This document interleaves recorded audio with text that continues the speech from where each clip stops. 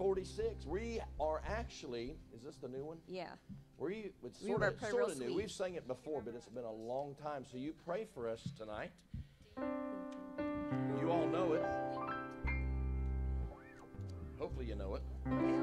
Hopefully I know it. What do you mean, hopefully you know it? Pray real sweet.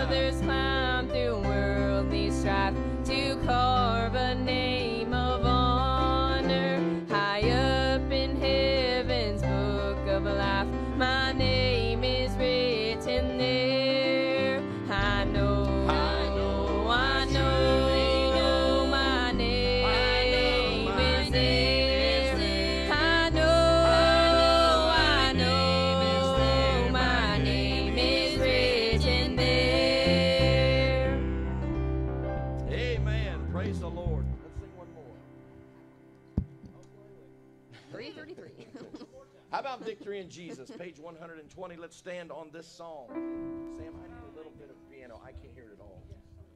Please. Page 120. Let's stand tonight.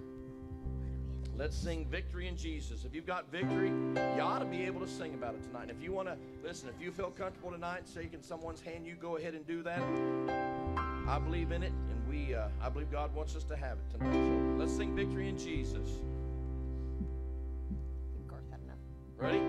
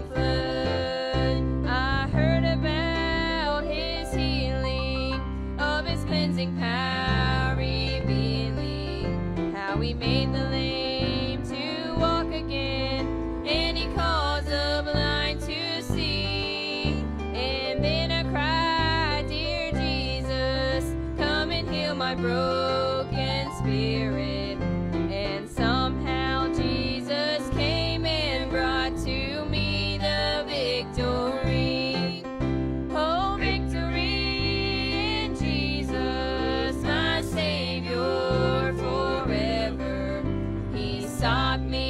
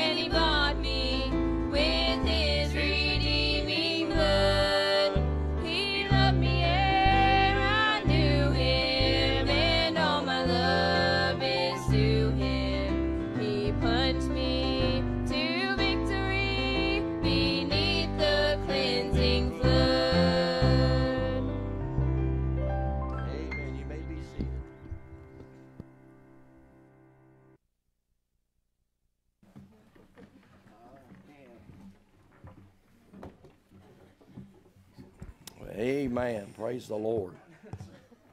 Victory in Jesus. I'm waiting. Oh, I thought you was going to jump off of there or something. No, You going to sing? you're gonna catch me. I'll.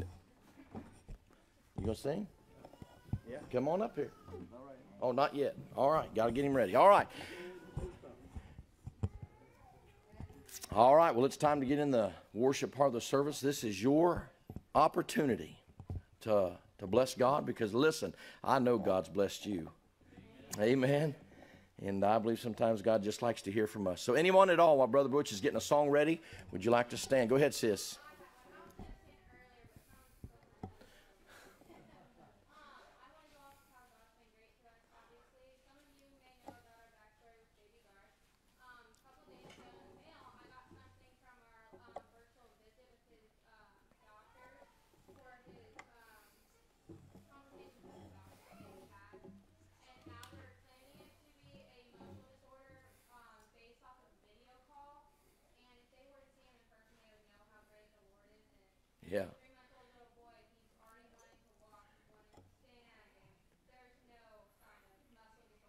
Bless your heart. Amen. Amen.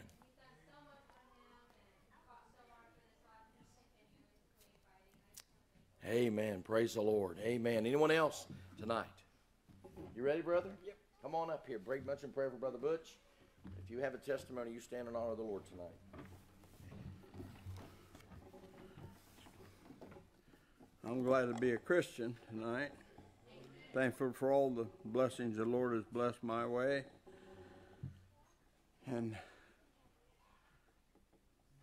I feel I need to sing, sing and praise Him. You pray for us. Since I can remember, I believe with all I have on the one who created everything. Though this world we're living in is doomed to pass away, I still believe I have a home not made by hands. I believe there's a heaven far beyond all sorrow and care. I believe I'll live forever, for my treasures and my heart's already there. Let not your hearts be troubled, just believe what Jesus said. In my Father's house are mansions untold. If I go prepare a place, then I will come again and receive you to myself and take you home. I believe there's a heaven far beyond all sorrow and care. I believe I'll live forever for my treasures and my heart already there. Sister asked me to sing this one. I'll sing another one. You pray for us. There was a hill, three crosses stood. Upon that hill, three men would die two were bad, one was good, enough to take the place of a sinner such as I. Though they nailed him to the cross, the crime was not his own. The penalty he paid was for sin that I had done when they read my life story in the courtroom up in glory. And there's no doubt they will. It will start with these four words There was a hill. There was a hill, a sacred place. Life and death met face to face, a battle raged.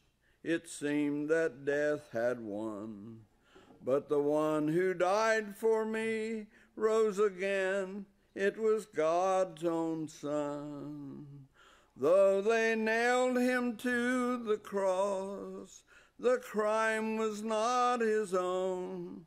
The penalty he paid was for sin that I have done when they read my life story in a courtroom up in glory. And there's no doubt they will. It will start with these four words There was a hill.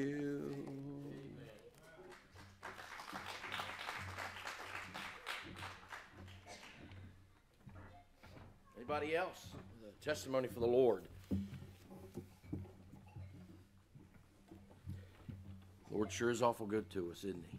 Sure is. These couple songs have been on my heart, and I want to sing them. I have Michaela sing them.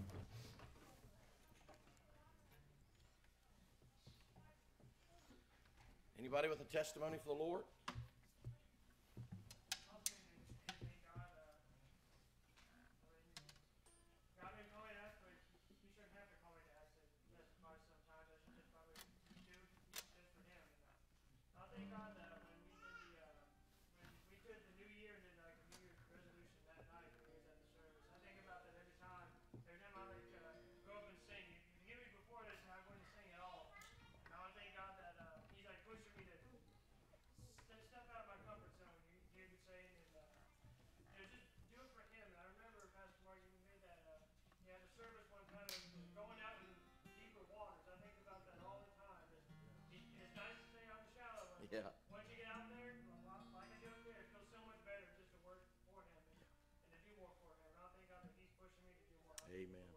Bless your heart, brother. Amen.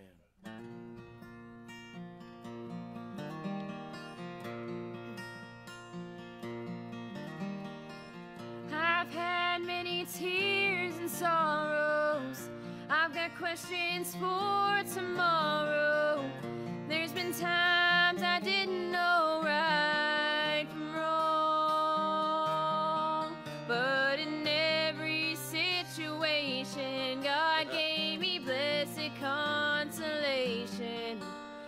my trials only come to make me strong. Through it all, through it all, I've learned to trust in Jesus, and I've learned to trust in God.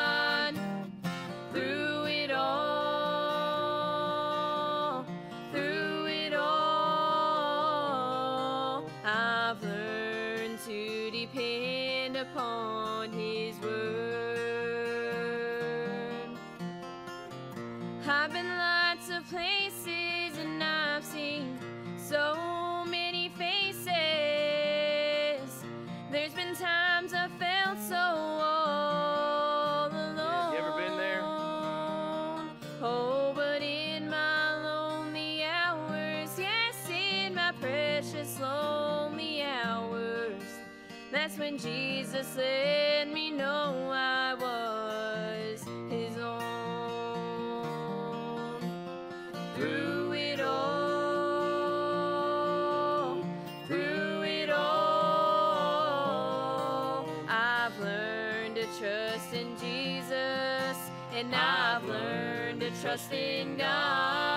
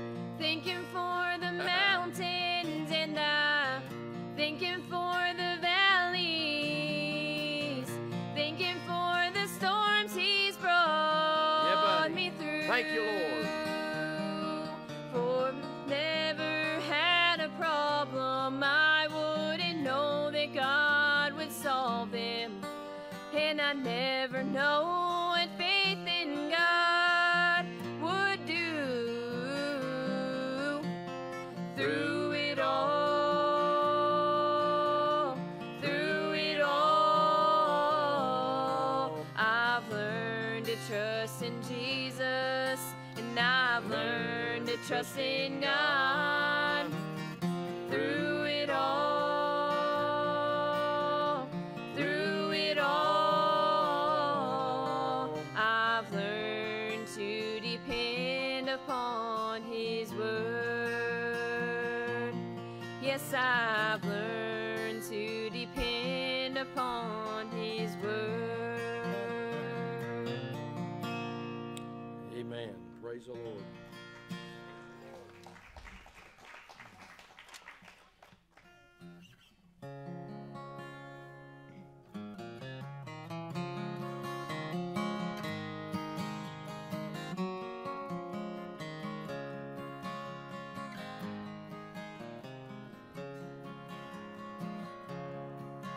There's a danger sound in front of us. I know will surely come when that eastern sky will open wide, revealing God's dear Son. And I know from here to uh-huh. heaven is but the twinkling of an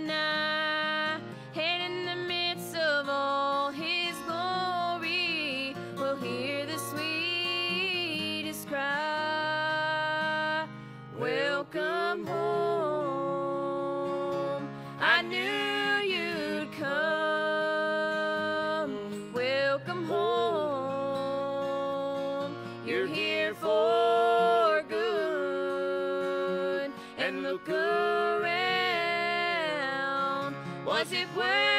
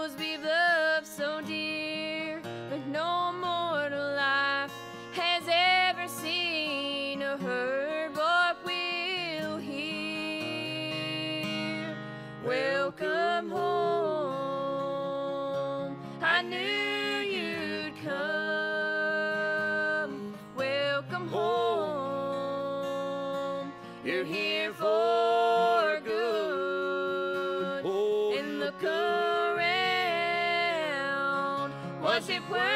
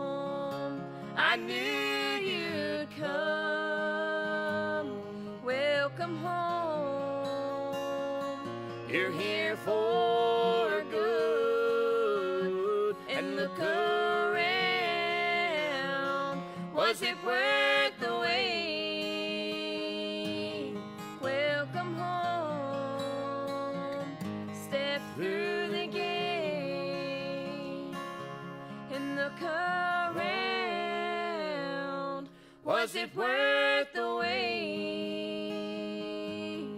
Welcome home. Step through the gate. Amen.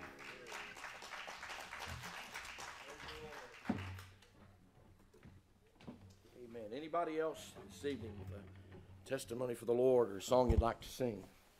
We call the preacher to come. Well, Micah, you come on up and do what you need to do. You want to sing, you sing. If you want to preach, you preach. Let God use you tonight. Be much in prayer for Micah as he comes.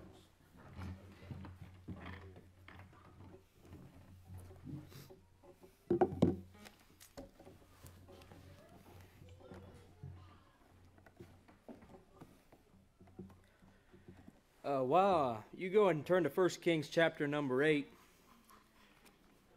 I guess I might as well sing one, ain't that right, Jim?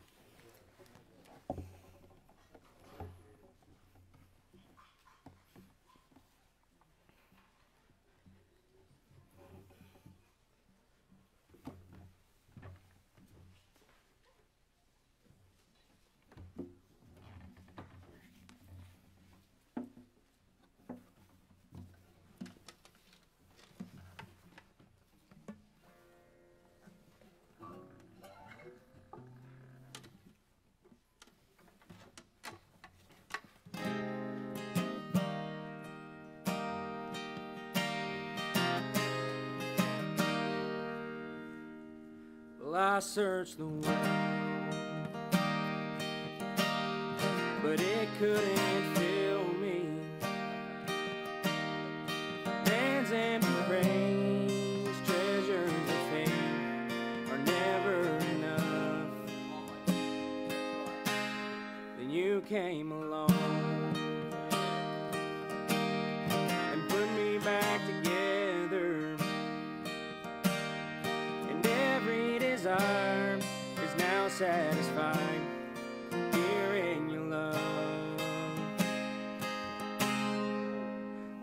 there's nothing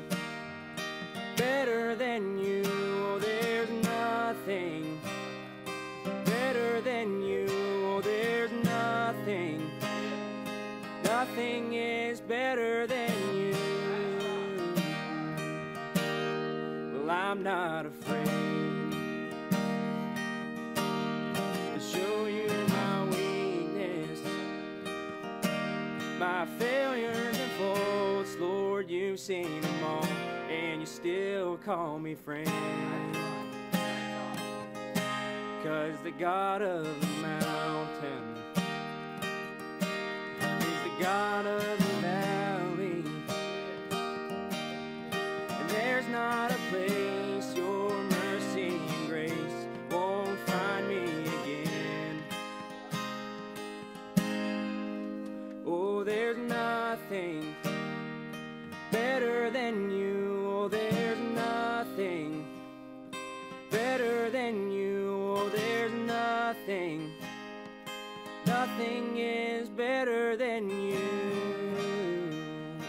There's nothing better than the Lord tonight. Amen.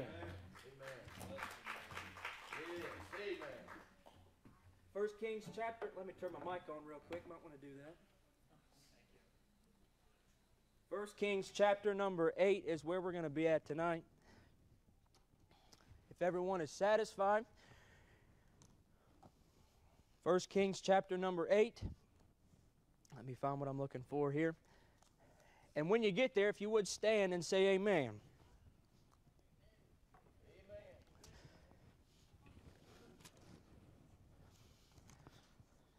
Devil's fighting us tonight, church. Go ahead and pray for us. First Kings chapter number 8, starting in verse number 22. If you're there, why don't you go ahead and say amen. And the Bible says, And Solomon stood before the altar of the Lord in the presence of all the congregation of Israel and spread forth his hands toward heaven. And he said, Lord God of Israel, there is no God like thee in heaven above or on earth beneath, who keepest covenant and mercy with thy servants that walk before thee with all their heart. Who hast kept thy servant David, my father, that thou hast promised him? Thou spakest also with thy mouth, and hast fulfilled it with thine hand, as it is this day.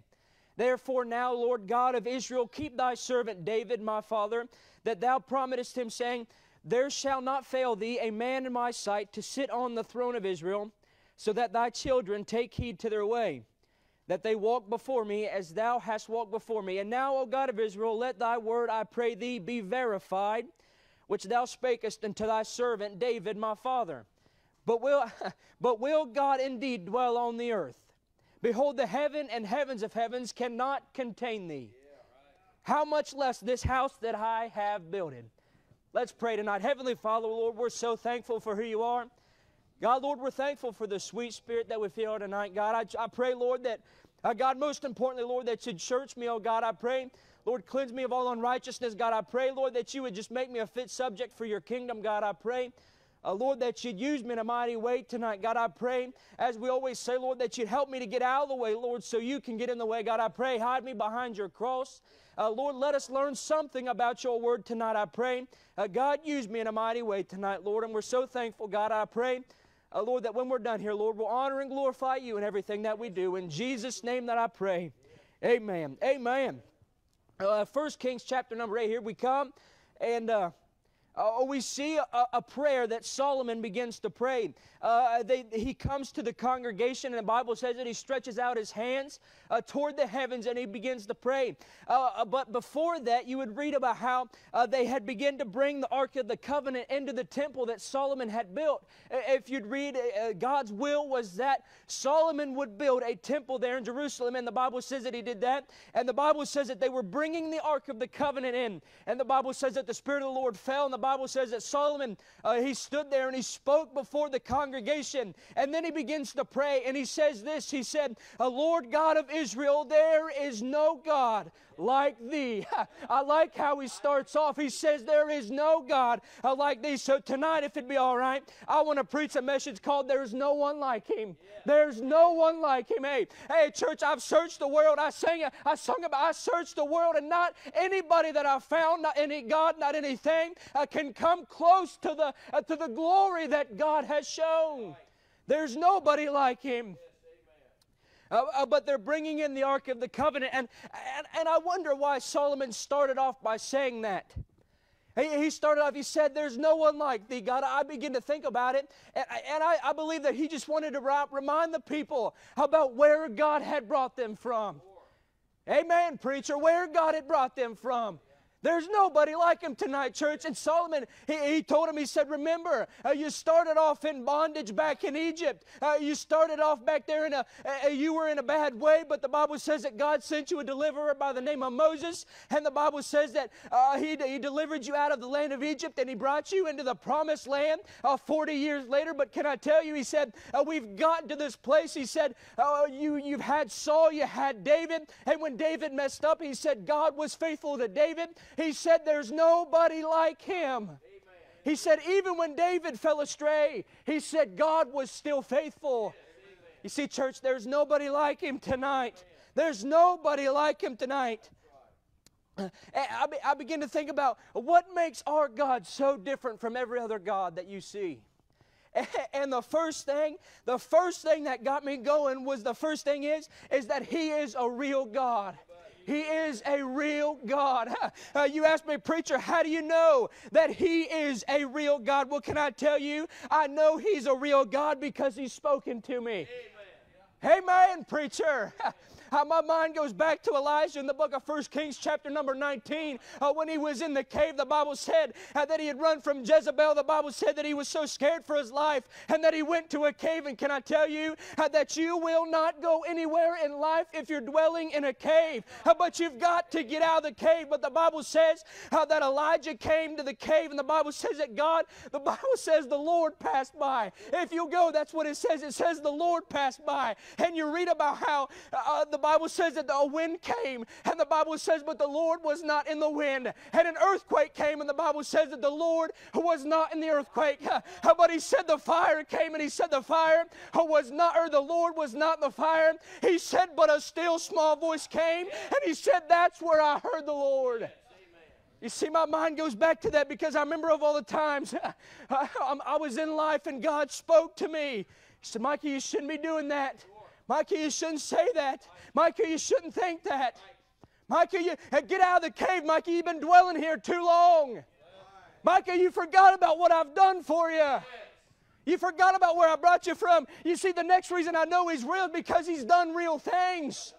He's done real things. You see, the Bible says that Elijah had just come out of the mountain, and the Bible says that he was sitting there, and the Bible says he challenged the prophets of Baal. He said, I'll let you pick your bullock. He said, I'll let you pick how you do it. He said, I'll let you cry out to your God uh, for as long as you want to. He said, but then I'm going to take over. And the Bible says that the 450, there was 450 of them. Yes, 450. Now, I'm not no math major. I'm not a mathematician by any means, but 450 beats one any day of the week. Am I not right? Am I not right? 450 sounds a lot better than one. You see, but it all matters about who the one is. Yeah, it all matters about who that one. You see, but the Bible says that the, those 450 prophets begin to pray and they begin to cry out to their God. And the Bible says that Elijah began to make fun of them. He said, "He said, don't worry, he's just asleep." He's just asleep. Maybe if you cry louder, you'll wake him up. Uh, maybe he went on a trip. Maybe he just can't hear you because he's too far away. He said, keep crying out. And the Bible says that the time came where Elijah, he said, he said, all right, it's my turn. And the Bible says that he told him, he told him to go get a barrel and, and fill up the trench that he had dug around the bullock three times. And he said, you know what, go ahead and soak that bullock out while you're at it. And the Bible says that he cried out to God. And the Bible says that immediately fire fell from heaven and swallowed up that bullock, but not only the bullock, uh, but the water that he set around it. And can I tell you that my God does real things? You see, he did something real for Elijah, but Elijah quickly forgot what God had done for him. He had quickly forgot what God had done for him. And then God reminded him using that still small voice. You see, uh, my mind goes back to the verse where the Bible says that de- an evil and adulterous generation will search for a sign. But the Bible says that there'll be no sign given you see, God doesn't come to you in the in the glory, in the, the, the big fancy, in the uh, the majestical ways, but He comes to you in a still, small voice. Yes, He can use those things to uh, to get your attention, but I promise you, when you get close to God, He'll talk to you in that still, small voice. But He does real things. He does real things. Uh, but not only, uh, He also He kept David, did He not? The Bible says that David was on the mountaintop or on his rooftop and he saw Bathsheba. And the Bible says that he desired, he inquired of who she was. And the Bible says that he desired her. And the Bible says that he laid with her, but yet God remained faithful to David. You see, I know he's real because he kept his promise. I know he's real because he kept his promise. You read in verse 23, it says, And the Lord God of Israel, there is no God like thee in heaven above, on earth beneath, who keepeth covenant who keep his covenant and mercy. You see, he kept his promise. He did, uh, did he not say that he'd never leave us and he'd never forsake us? Did he not say that he'd go with us always, even until the end of the world? You see, my, I know that my God's different because he's real. I know He's different because I, I, can go and I can find other things of this world. But can I tell you that they will all one day burn? You see, but when everything else is burning, there's only one God that'll stand firm because I know He's real tonight. He is a real God. He kept the promises that He made. But not only is He a real God, but He is a reasonable God. He's a reasonable God. Well, preacher, what do you, what do you mean He's a reasonable? You see, I can be an unreasonable person sometimes. I, I, I get my own flesh. I, I, I become selfish. But can I tell you that God never once becomes selfish? You see, He's always caring for you. He's reasonable. Uh, he, and the biggest thing that I found that uh, uh, uh, attributes to His reasonableness is His forgiveness. His forgiveness. Uh, he, he said, There's no God like thee in heaven above or on earth beneath who keep his covenant and mercy. You see, mercy, we don't deserve mercy. We don't deserve God. We don't deserve what God has in store for us. We don't deserve heaven. We don't deserve this earth that He built for us. You see, but He's reasonable. He's a God of forgiveness. You see, He forgave. He forgave David when David messed up. And Solomon recognized that he forgave. Uh, he forgave. Um, uh, he forgave Paul. Remember Saul on the road to Damascus? The Bible says that he was going around persecuting Christians, and the Bible says that a bright light shone. You see, he forgave Saul and made him Paul. He's a God of second chance after second chance after second chance after second chance. You see, that's why my God is better than the others.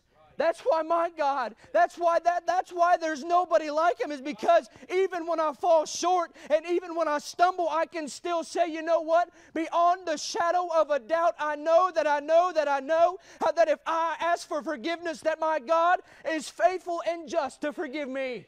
Does the, book, does the Bible not say that? He says if we should confess our faults and failures, that He's faithful and just to forgive us of those.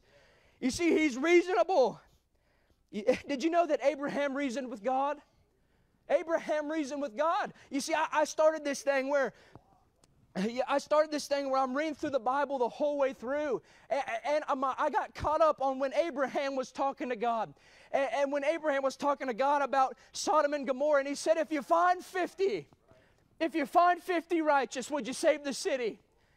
And God said, If I find 50 righteous, I'll spare the city. And Abraham began to think about it. He said, Well, if I can get him to go 50, I might be able to get him to go lower. And he said, "Look, eh, eh, the way that Abraham worded it, he said, he said, Lord, I don't want to make you mad when I ask you this. I don't, I don't want to upset you in any way. He said, but if you find 45, would you save the city? And God said, you know what? If I find 45, I'll save the city. And he went to he went to 40, he went to 35, or he went to 35, he went to 40 or 30, and then he went to 25. And then the Bible says he said, Abraham, he said, Abraham, he said, God, he said, I don't want to upset you. He said, but if you find 10, if you find 10 righteous, if you find 10 righteous, would you save the city? And you know what God did? He said, Abraham, if I find 10 righteous, I will save the city. And we all know how that story ends. Sodom and Gomorrah is destroyed, so I don't think God found 10 righteous in Sodom and Gomorrah. Uh, but God, or Abraham, reasoned with God. You see, because God wants what's best for us. You see, we have, you know why my God's different? Because not only does He talk to me, but I can talk to Him.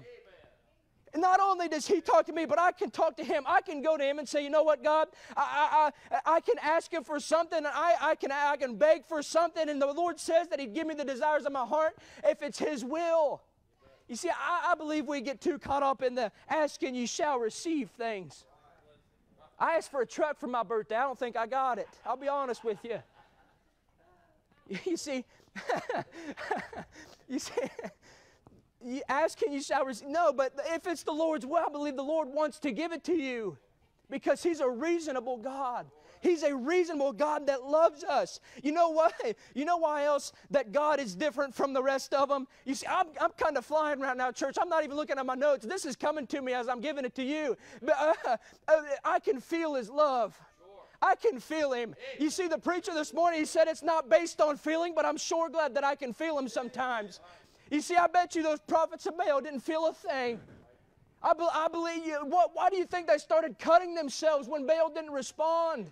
Why do you think they began to, to, to, cry out and they were so upset? Oh, but when God, when Elijah cried out to God, the Bible says that fire fell and the presence of the Lord showed up. You see, we can feel Him, church. We can feel God. We can feel Him tonight. But not only is He real, not only is He reasonable, but He's a resurrected Savior. That's my favorite one. That's my favorite one. He's a resurrected Savior. Man, you ain't y'all ain't getting excited about that. You see, I can go on over. I, I can go look at the tomb of Buddha. I look in there, I'll see a body. I go look at the tomb of Muhammad, I'll still see his bones laying there. I, like that song that they sing. It starts, uh, I walk by the tomb of Buddha. still wrapped up in his grave. And then, and then they go on and it says, But then I passed by the tomb where they laid Jesus, and the Bible says that there's nothing there. There's nothing there because he's alive. He's alive. How do I know that He's real? Uh, because He's alive, and not only is alive, but He's alive forevermore. You see, He's not going to die again. He's a resurrected Savior. He's not dead, church. He's not dead. That song goes on to saying, or to say, if you knew Him like I know Him, then you would know that He's alive. You see, church, if you knew, if you're lost and undone here tonight, if you knew God like I know God, you would know beyond a shadow of a doubt that God is real. You would know that there's nobody like Him. You would know that not a, not a, a nothing in this world could even compare to Him. Nothing.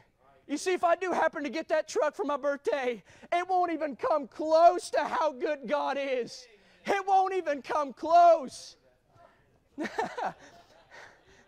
It won't even, He's a real God tonight. He's different than the others. He's better than the others. You see, I don't want some fake God that someone made up because they were feeling a little down. I don't want a fake God that someone made up uh, because they didn't like what the Bible had to say. You see, I want a God that's gonna uh, uh that's gonna change my life. You see, I want a God that's not gonna keep me the same creature that I once was. You see the all the other gods of this world, you see they'll keep you won't change a bit. You won't change nothing. You see, but you run to God. You run to God, you'll be a different creature. Hey, I like to sing the grass is greener, the sky's bluer. Hey, the, the world looks different when you find God. You see, there's nobody like him tonight, church. I like what he says in verse 27. He says, But will God indeed dwell on the earth? He said, Behold, the heaven and the heavens of heavens cannot contain thee. Why do you think he built the heavens and the earth? Because he needed it all. Why do you think he needed it? You see, I, I believe that God's big enough that he's everywhere at once, at all times. And Samuel or Solomon, he said, he said, How can this building that I built contain thee? He said, It can't. He said, It can't. He said, Because you're not like the others. My mind goes back to when Moses he, he went upon the mountain. And the Bible says uh, that he, he was carrying the Ten Commandments down with him. And the Bible says that he saw that they had resurrected a, a golden calf. And the Bible says that uh, Moses, he looked at him, he said, Now, why'd y'all do that? Why? You see, they, they wanted something that they could see. They wanted something uh, that they could physically touch. You see, but they were looking in the wrong places. You see, they, uh, they built this golden calf. The Bible says that Moses got so mad he, he threw down the Ten Commandments, and the Bible says uh, uh, uh that, he, uh, that he crushed up that golden calf and made him drink it. You see, God's real tonight, church. He's not like the others, there is nobody like him. You see, nothing in this world can compare to who God is. Nothing in this world can compare to what God does, and nothing can, in this world can compare to the love that He shows us. You see, I, I, I, look out, I look out at the world, and I look at the, uh, the wonderful and beautiful creation that we see around us, and it blows my mind. It blows my mind that you can deny the existence of God. It blow, how, how in the world is it possible how that the earth rotates on a certain degree axis and if it tilts off that axis by even 1% then the whole world blows up? How is it possible that uh, the sun that all the planets rotate around the sun? They, they are they're all in orbit together. How is it possible that uh, the world is moving so fast but we can't even feel it you see that's my god you see, that's how real my God is, is he can do whatever he wants to. You see, my God's so real that the Bible says that he spoke the heavens and earth into existence. You see, the Bible says that he spoke. He said, Let us make man in our own image. You see, my God's that good. My God's that real. My God is that good at his job that he can just speak it and it has to happen. You see, there's no choice but for it to be done. You see, everything is under God's control. Church, there's nobody like him tonight. There is nobody like my God. Solomon said, and he said, Lord God of Israel, there is no God like thee in heaven above or earth beneath, who keepeth covenant and mercy with thy servants that walk before thee with all their heart.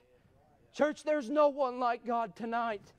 There is nobody. I, I, when I say this, I mean it. There is nobody, not one thing in this world that can compare to the love of Christ tonight. As we stand, as we stand, I know it was a short message, but I don't think my voice can.